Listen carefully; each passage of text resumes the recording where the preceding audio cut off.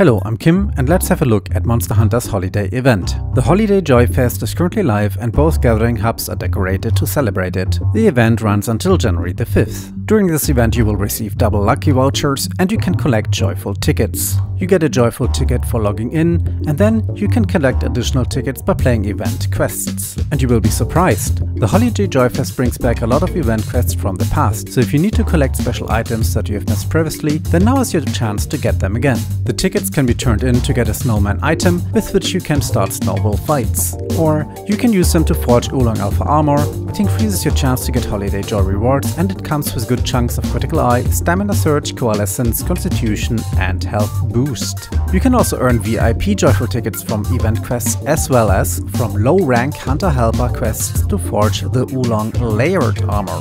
There are also many sales going on and you can make use of the seasonal platter where the ingredients are on the house. Both the handler and Poogie get new outfits too. Poogie's new outfit is permanent but the handler's outfit is restricted to the event only. While in your room, make sure to check out the new event decor too. Finally, head to the Lynian Researcher to pick up a new set of research requests. And that's it. Have you checked out the event yet? Do you like it? Let me know in the comments below. If you enjoyed this video, please hit those like and subscribe buttons or stop by and say hi in person on Twitch.